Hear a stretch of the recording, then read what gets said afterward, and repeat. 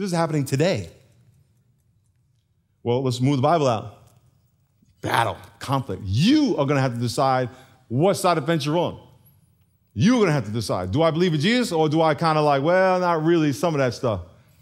Whew. So what Christ is saying, uh, what Paul's saying is the foundation of truth. Then look what he says next. He says, verse 12, now if anyone builds on this foundation with gold, silver, and precious stone, everyone say gold, silver, and precious stone. Gold, silver, and, precious stone. And then say wood, hay, straw. Each one's work will become clear, for the day will declare it, because it will be revealed by fire, and the fire will test each one's work, what sort it is. You're going to stand before God, and you're going to bring all your works, and all your works are going to be there, and the God's fire is going to apply to it. And when the fire is applied to it, some of it's going to burn up, and some of it's going to come through like a precious stone. See, when you apply fire to gold, silver, or precious stones, they get more shiny. That means God approves. When you put wood, hay, and stubble in fire, it burns up. Some of y'all are going to come to God with all the stuff that you did, and it's going to go poof, the magic dragon. It's going to blow up because it's wood, hay, stubble, and you get no reward. You do not want that. You want to come to God and have God tested by fire and it come through shiny like precious stones because it was done in a way that honored him. We're going to talk about what that means in a minute. Look at number seven. We are examined not to determine salvation, but rewards. We are examined not for salvation. This is not a salvation thing. In Islam, and here's a perfect example. In Islam, you have the Quran. You got the Quran because Gabriel supposedly spoke to Muhammad in a cave when nobody was there and gave him the Quran.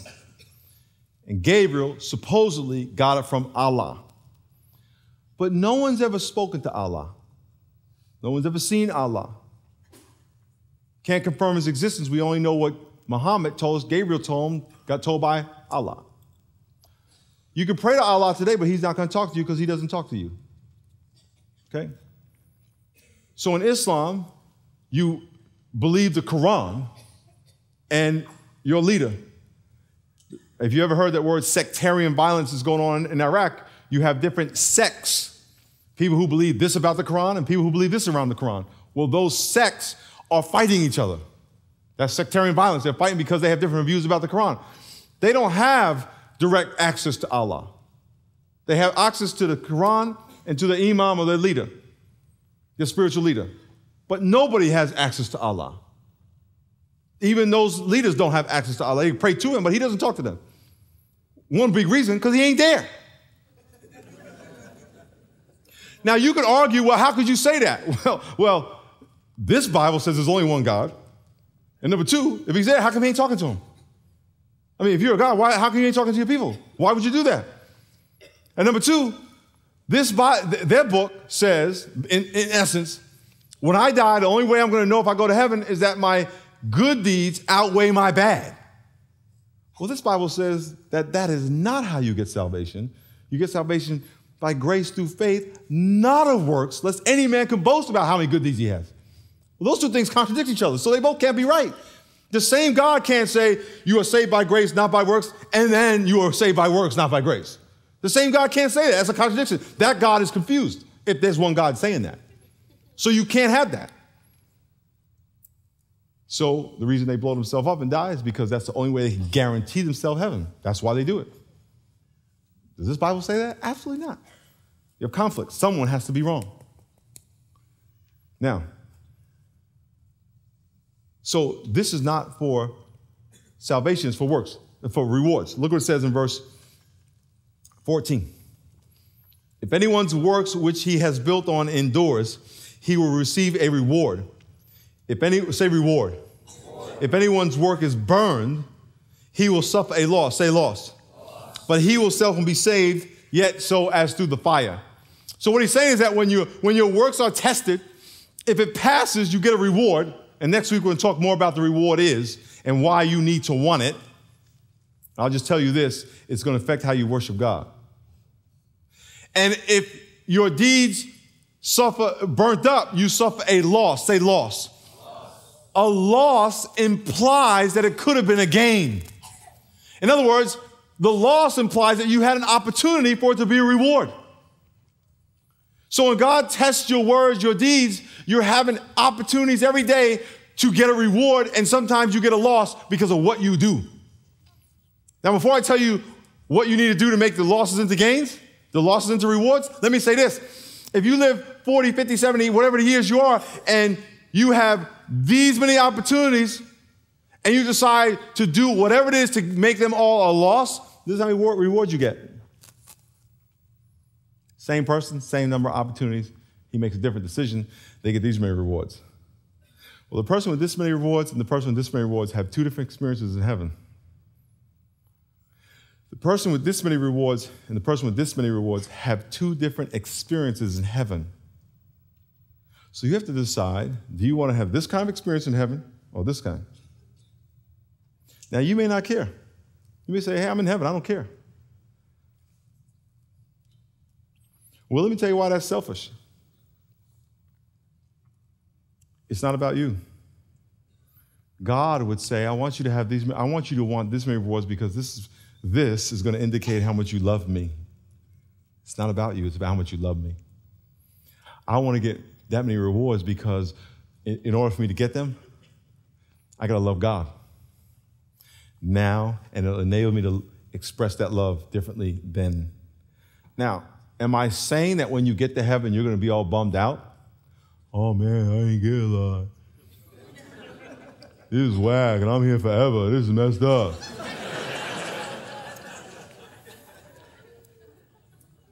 no, I'm not saying that at all. Matter of fact, I don't know. You know, some of us in this room grew up, and, and y'all still young, so you're still kind of growing up in your parents' house, but some of us in this room grew, grew up in what we might today refer to as ghetto. Okay? And what I mean by ghetto is that, and as you get older and get your own house, it'll be more clear to you that you will look back on how you grew up and say, man, that was below what I have now. But when you were in it, you didn't know any different. I mean, it's like that's all you knew. And my point is this is that when you go to heaven, you're going to be so overwhelmed with joy, it's not necessarily that you're going to know any different. But that still ain't the point. Because it's really about when I get to heaven, I want to be able to thank God to the maximum capacity that is available. And I want to be able to worship God and have the best time and, and, and be able to honor Him the most I, I could possibly have that's available to me. Why? Because I love Him so much. I don't want to just skate in and, and just be, you know, just get the, the, uh, uh, the stock crowns. I want to get, I want to get rewarded. I want my life to be, I want my life to be worthy of him saying, You were the bomb on earth. Can you imagine God saying that? Angels singing,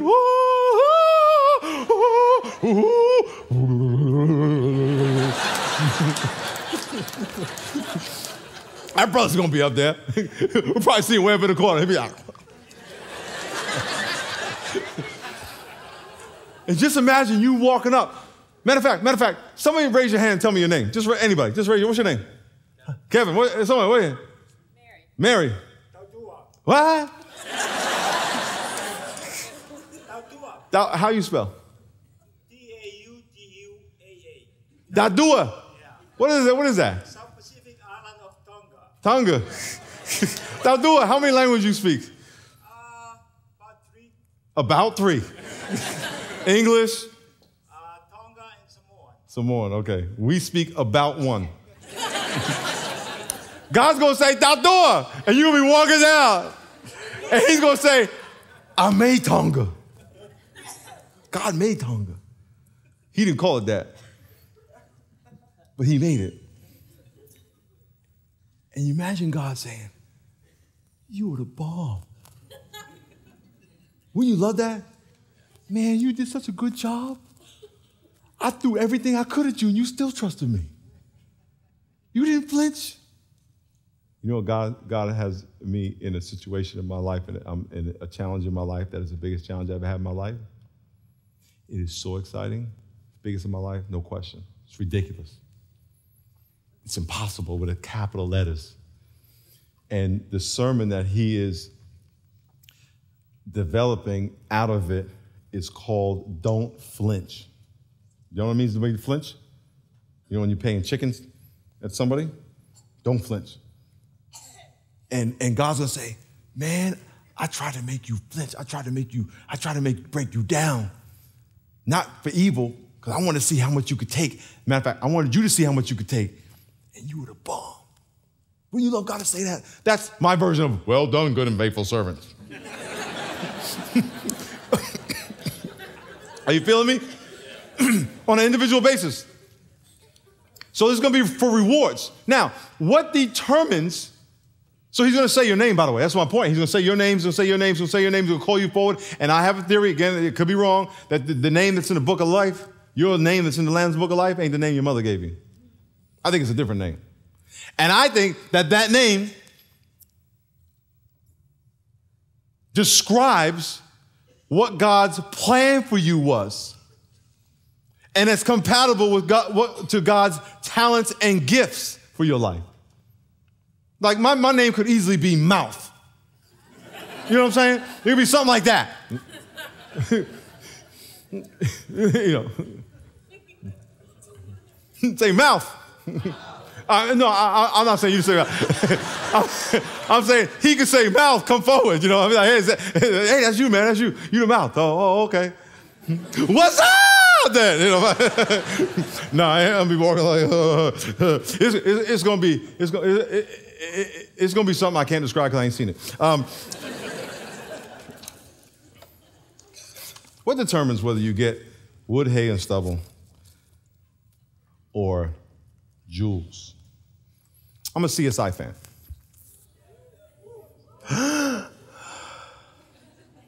I only watch CSI Las Vegas.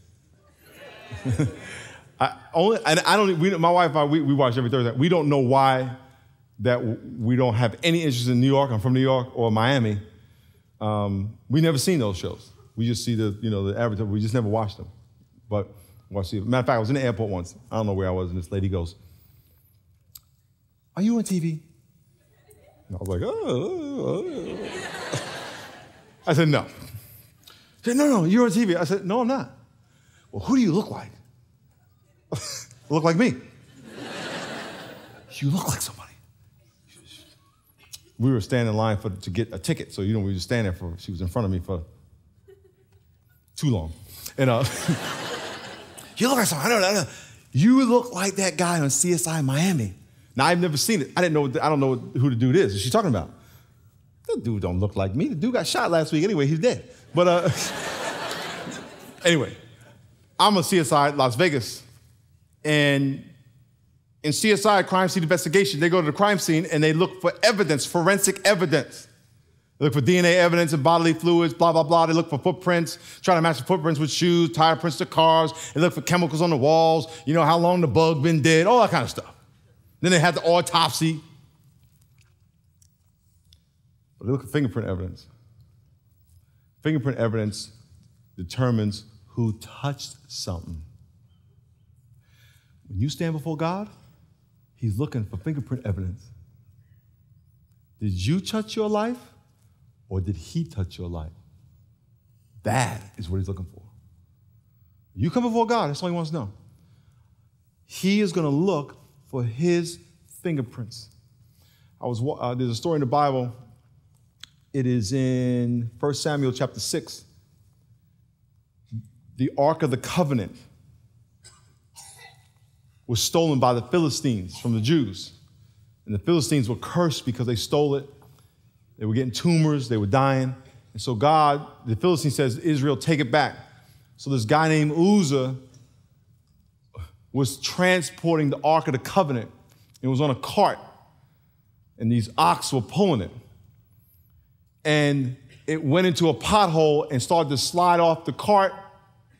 And Uzzah put his hand on the ark, and God killed him. You know what God said?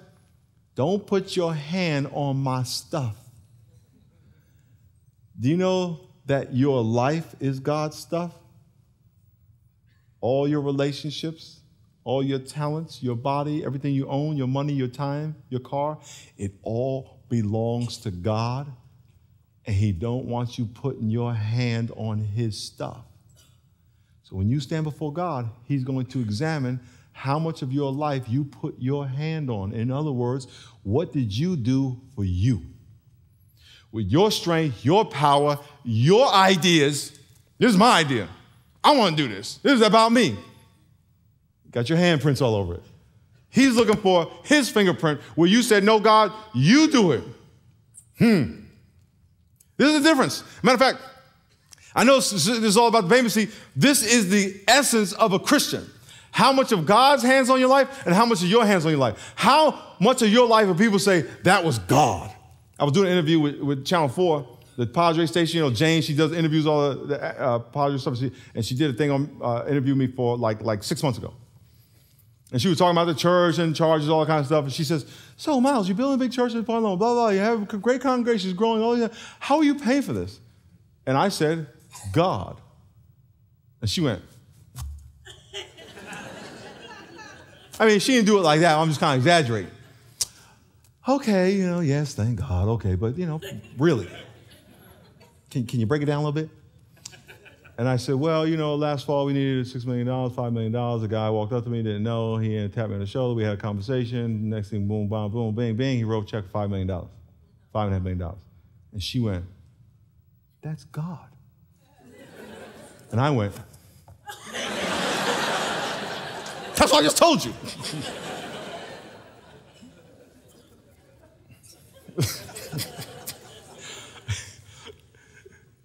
um, do you know that God does stuff like that in your life and wants to every day? It doesn't have to be five million. That's just one incredible example. But He wants to do stuff in your life where you just go, I don't understand how that happened. I don't understand how that happened. I have a calendar. I have a journal. I write prayers in just about every day, and I have a, a, another journal that is brag on God journal. I have a date, 1107. I write what God did that day, 1207, every single day. I already got my one amazing miracle for today. I ain't gonna tell you what it is because it's personal, but I got it. Because I'm tracking and acknowledging what God is doing. What's God doing in your life? We had five kids in our family. My mother had five kids within six years. My, my sister is 50 weeks older than me. Before she turned one, I was born. Then my brother, then my sister, then my brother. So my, my mom had a seven year old, a six year old, seven, six, four, three, two, something like that. Like, uh, it was just blah, blah, blah. My mother is 4'11 and a half. My mother worked full time. My dad worked full time. And we all lived in a three bedroom house. We ended up was a little, little tiny house in New York, and we used to go upstate to the mountains on vacation. We had a station wagon. There'd be five of us, two parents, seven people, grandma, uncle, and all the sleeping bags. Car would be like a lowrider back then. Drive two and a half hours up to the mountains. So we're driving back one day, and the axle under the car snapped. But it didn't break totally, it was like that. My father looks under the car. We're two hours away from home, up in the mountains. Ain't nobody around for nowhere, nothing but trees and deer.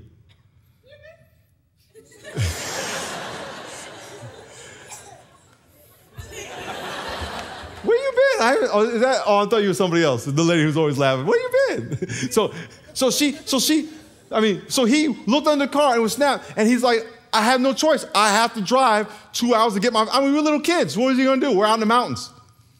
He drove two hours all the way down the mountains, all the way through New York City. And he talking about driving through Beirut, potholes, blah, clang, clang, holes in the street, big old holes like this big. He drives, gets up to my street two hours later, r- drives in front of my house, makes a three point turn, parks in front of the house, turns the car off. Ooh, the thing goes snap. snap. He's like, another time when I was a kid, we, we had it was wintertime, it was snowing. We're all five in bed sleeping. For us to have heat in our house, you had to have oil put in a tank underneath your lawn. It was a valve coming out of the ground. So the oil truck would come up and take the hose across your lawn and put oil in your tank. We had no oil. It was snowing. My father had no money. And he was sitting in the window just looking outside. It was night. And he says, My family's going to die. Out of the blue, oil truck drives up in front of the house. This is nighttime. Walks up to the tank, puts oil in the tank, drives away. Never sent a bill. He never called them. Just came out of nowhere. To this day, he has no idea. God. What is God doing in your life? Two ways you can increase his fingerprints on your life. Number one, make sure your heart's intent is to glorify God. Say intent. intent. Your heart is, has to intend to make God look good. Example. I use Starbucks because we all know Starbucks, Ladyville. You go to Starbucks and you order a triple mocha frappuccino latte macarena twist.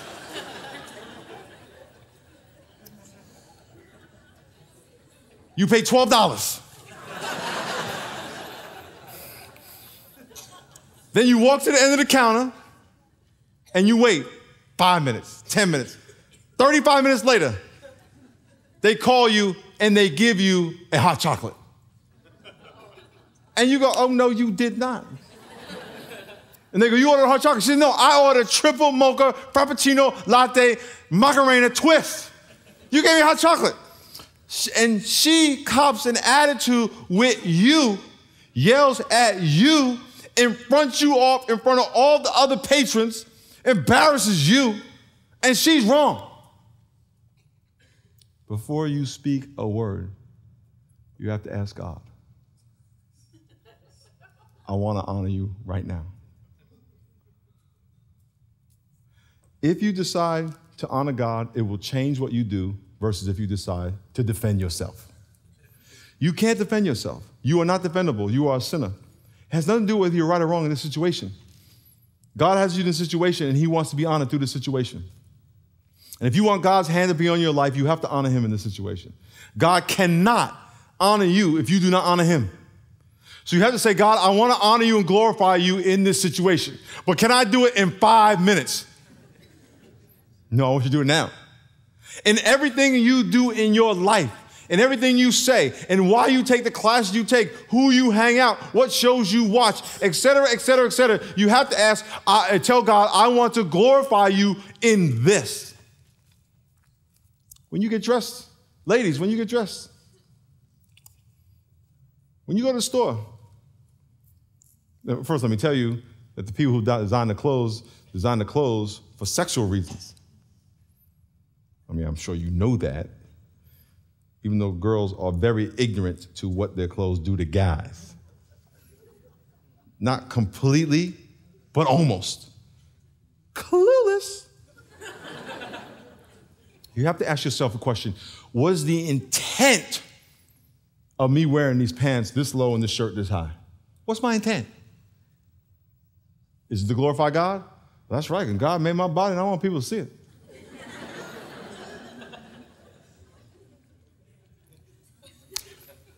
If your intent is not to glorify God, you shouldn't wear it. If your intent is not to glorify God and what you say, don't say it. If your intent is not to glorify God with people you hang out with, don't hang out with them the way you're hanging out with them. It always has to go to glorifying God and never you. If you say this is about me, then your fingerprint's on it and you ain't getting rewarded for it, and you're probably gonna lead you into sin. But if your intent is to glorify God, then it's a whole different ballgame. How do you do that? By faith. Point number two first, you have to intend to glorify God, and then you have to go about it based on faith. Faith is the substance of things hoped for, the evidence of things not seen. You have to go about it by faith.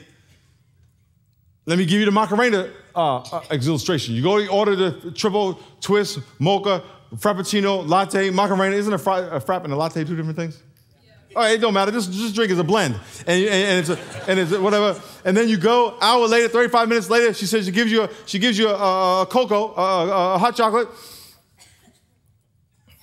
and then you say to God, God, I want to honor you.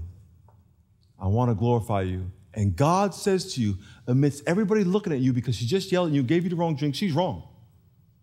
You're embarrassed. And God says to you, here's what I want you to do. I want you to look at her, smile, and tell her you're sorry. You probably made a mistake.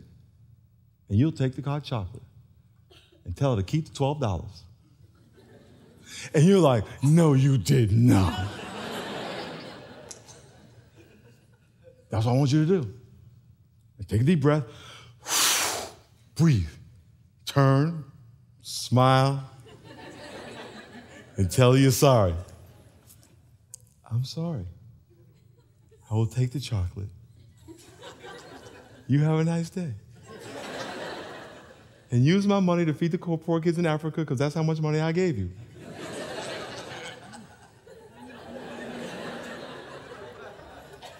And you know what God does in heaven? You just pass the test. Is that the essence of Christianity? Yes. Yes. I was talking to somebody the other day about there was a study done that 15, only 15% of people with exceptionally high IQ are successful in life, only, life, only 15%. 15% people with exceptionally high IQ are successful in life. Why? Because high IQ is not what makes you successful. What makes people successful is emotional intelligence. Emotional intelligence. Being able to assess the people around you and assess how to move through your environment to get stuff done. You can have book knowledge all you want, you can have context all you want, but if you can't get along with people, it's going to be a harder road for you. Same thing's true with the Bible. You can go to church all you want, but if you don't have faith and don't trust God, you ain't going to be blessed. You can, you can read the Bible all you want, but if you don't obey it by faith, you're not going to be blessed as much. This is all about faith. And when you stand before God, God's eyes, of, in fact, the Bible says the eyes of the Lord are like flames of fire. He's going to look into your life and he's going to examine to look for his fingerprint on everything you did. The intent of your heart, not only what you did, but the intent of your heart. Because you know when you were a little kid and you see little kids, they have a fight with their brother and sister or a friend down the street, and their mother will say, Say you're sorry. And they'll go, I'm sorry. say it like you mean it. I'm sorry. Tell them you love them. I love you. Is there heart in it? Well, if mama knows that, you know that, surely God knows that. I don't know if y'all, y'all are too young to have seen the Superman in black and white. Y'all see the Superman in black and white? Yes, anybody? Okay, Superman in black and white, unlike the Superman of today, old school superheroes blow these dude dudes away.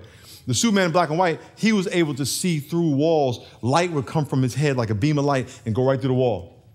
Y'all remember that? If you haven't seen it, you ain't seen nothing. This is this was Superman. He would see Lois Lane all tied up, and then he would bust through the wall. It was made of styrofoam, and he would sell it, save her. Superman today in the color, you know, the, the red, the, the, red and blue suit with the S on his chest. You know, he you have to have your whole name on your body. That's one letter. But anyway, he he can't see through walls.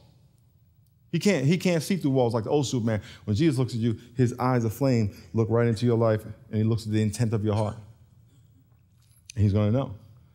Is his fingerprint, was, just, was his fingerprint on your intent or not? My challenge to you is this is very simple. Is that you would say, Lord, I want to, when I get to heaven, I want to be rewarded. I want you to say, Well done, good and faithful servant. I don't want to come to heaven and have all the things I did that I thought I was doing good, the things I thought I was sacrificing be burnt up, be worthless. You know what's really sad is that you, you're making sacrifices, but you're doing it with the wrong attitude. You're like that little kid. I love you. I'll go to church. All right. Look, I went to church. God's like, you should have stayed home. You just wait. I mean, don't even say you're a Christian. When, you, when you're serious, let's go. Because you're doing me more harm than good. But when your heart's in it, and, and let me tell you, and I tell you this from experience, because I've seen miracles.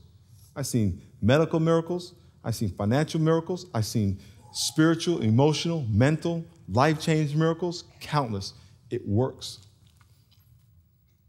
People, and I'm not saying just for me and other people, when people step out by faith and say, God, I want to make you look good, and God says, I want you to do about it. And by the way, God is going to tell you to do stuff that you can't do. Matter of fact, everything God tells you to do is going to be beyond you.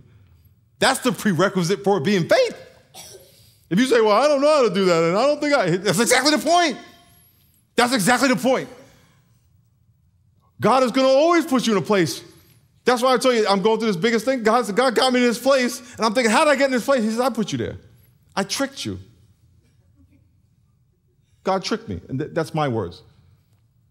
What I mean by that is God told me this, He told me this, He told me this, told me this, and then all those things I thought were true, He removed them and left me here. Now, is that deceitful by God? No, because I don't know the whole story yet. I don't know the whole story yet. I, was supposed to, two, three years ago, I went to Hawaii to speak in these high schools to do, and we had a, a event, uh, some outreaches over there. And in one of the high schools, they asked me to come back and do the graduation in like six weeks. So I said, yes. So I said, you know, we're going to give you this, we're going to pay you tickets, blah, blah, blah. So I went out and bought a ticket. Then I upgraded. My wife and I were going to stay, so I put extra money on the ticket to get a first class seat because I wanted to chill. And, and uh, my friend who has a, a, connection with a limo company, he gave us a limo because we had to go to Orange County. So we were like ready. We call them and say, We canceled you. I said, Hold, up. I just, they said, I'm sorry, we canceled you. Matter of fact, we're not going to call you back and tell you why. And they just disappeared. So my wife and I was stuck with all this, you know, these expenses. We thought they were going to reimburse us. And they just, so I got tricked. What did me and my wife do? We went anyway. it was the best time, one of the best times we ever had. It was a good trick. What God has done for me is He'll say, Do this, do this, do this. And then everything I just stepped on, He removes. I'm out here all by myself. He says, You wouldn't have got there if I didn't tell you all that other stuff. Did he lie? No, because that other stuff, he comes around, he does stuff in people's lives, whatever, whatever. And it's and and and that's when God does that to you and puts you there, that's when you know God's gonna do something. Because it was about him, not you. You didn't create the dilemma. He created the dilemma. And now he wants to see what you're gonna do. So if you walk by faith, okay, God, I'm gonna try it. Okay, God, I'm gonna try it. I trust you. I'm gonna trust you. And then he says, now I really wanna test you. Now, why is all that important? It's not a game. Why does God do that? Because the more you see Him move on your life, the more you can trust Him, the bigger things He can, he can trust you because God is only going to glorify Himself through faith and through people who trust Him, who can look into the unknown, into the darkness, and see a light. So He creates and develops trust in your heart. And if you ever go through a Frappuccino latte mocha experience and a girl curses you out and you walk out there, you go, what was that all about? It was about at least this one thing that you now know you can get cursed out and it won't kill you. You can say sorry even when you're right and forgive somebody even when they're wrong and swallow your pride and it won't kill you. At least that. And imagine what your life would be like if you really believed that. Imagine what, imagine what your life would be like if you didn't walk around having to be right all the time having to prove yourself all the time. Imagine what life would be like. You'd have so much less pressure. It don't matter. Man, look at. You can laugh at me all you want. It don't bother me. Six and zone and break my bone and they never hurt me. It don't bother me. God, what do you want me to do? I want you to go over there and do this. Uh, you're to risk your reputation. No problem. God, what you want me to do? I want you to go over there and witness that person. They may laugh at you. No problem. God, what you want me to do? I want you to go over here and give away everything you had and trust me. Okay, no problem. God, I want you to go over here. I never did it before, but no problem. That's the person God can use. But if everything for you is a condition, well, God, you know, I never did it. Well, God, I need this. Oh, he's like, oh, come back to me when you're ready to serve. You want God to go to God of heaven? God's going to be, and this is why I, I don't know what it's going to be like, but I hope it's like this. I hope that you and Jesus can sit down and just laugh. You remember this? Man, you were so scared. I was watching you. It was so funny. I had you going, man. I had you thinking you were going to get left out to dry, but I had your back, man. I had your back. It was Jesus talking to you. You remember that girl you had a crush on? She was no good, brother. she was no good. You remember that time you almost killed yourself? Remember that time you almost killed yourself? I was standing right there. I was standing right there. And you know what? You almost killed yourself. But I knew that you could take it. And at the last minute, you dug deep and realized the strength I gave you. All of that he knows.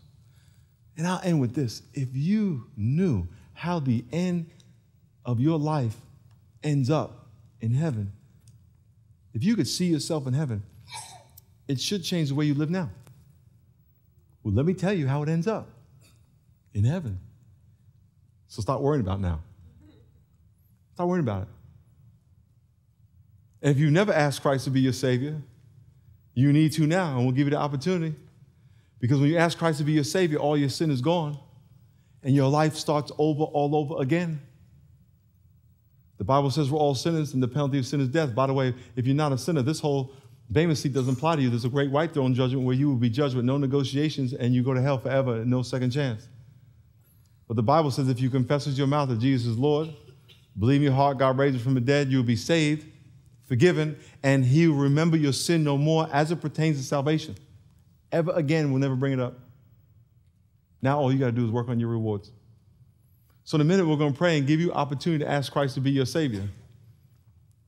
Because if you say no to Christ, then you're on your own.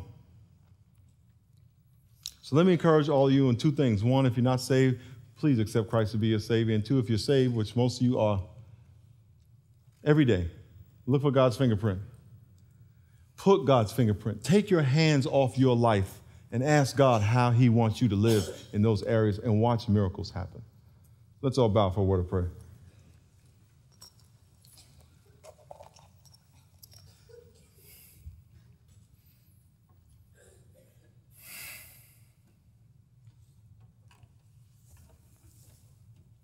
Lord, thank you so much for your faithfulness to us. Thank you so much for your goodness. And I pray we would, we would trust you every step of the way, that we would intend in our heart to make you look good.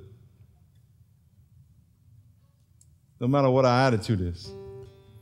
We pray, I pray that we would intend in our heart to make you look good. And I pray the intent of all of our hearts would be to use this information for your glory. But if you've never asked Christ to be your Savior, if you have never asked Jesus to forgive you of your sin and you want to tonight, pray this prayer with me in the privacy of your heart. Pray, dear God, I believe I'm a sinner. I believe my sin is wrong. But I believe you love me. I believe you died and rose from the dead. Jesus, please forgive me. Be my Savior and my Lord. Thank you, God. As all of our eyes are closed and our heads are bowed, if you prayed that prayer to ask Christ to be your Savior, in a minute I'm going to ask you to stand up. And by standing up, you are acknowledging His forgiveness. You are acknowledging receiving eternal life. So now, with your eyes closed and your heads bowed, if you prayed that prayer and you're saying, Yes, Lord, please forgive me of my sin, I'm going to ask you right now just to stand up in your seat and acknowledge his forgiveness. God bless you. Stay standing, please. God bless you. God bless you. God bless you. God bless you. God bless you. God bless you. God bless all of you. God bless you. God bless you. Very good. God bless you. God bless you. Very good. God bless you. God bless you. Anybody else? Stand to your feet. Jesus is asking you, Yes, I want to forgive you. God bless you. Very good. God bless you. Very good. Now I'm going to ask all y'all who are standing to do one more thing. As we welcome you to the family of God, We're going to ask all y'all who are standing to walk out of your seat and come on down to the altar. Let's give them a hand as they come on down. Amen.